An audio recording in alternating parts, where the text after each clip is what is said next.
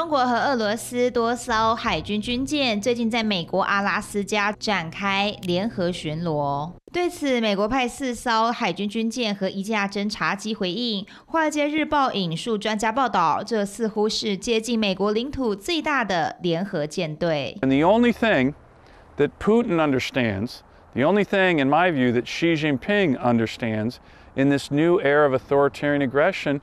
Is power. 有看法认为，鉴于俄罗斯持续在乌克兰作战，这支舰队具有高度挑衅意味。对此，俄罗斯回应，这是中俄舰艇在进行演习。中国则宣称，此一巡逻不针对第三方。Alaska is also home to a handful of military bases and is of strategic importance given its proximity to Northeast Asia. 其实，阿拉斯加位于北美洲最西北部，它的战略位置介于中俄与美国之间，在中俄抢。海域的同时，恐怕要先明白，这仍属于美国领土。三立新闻林子琪报道。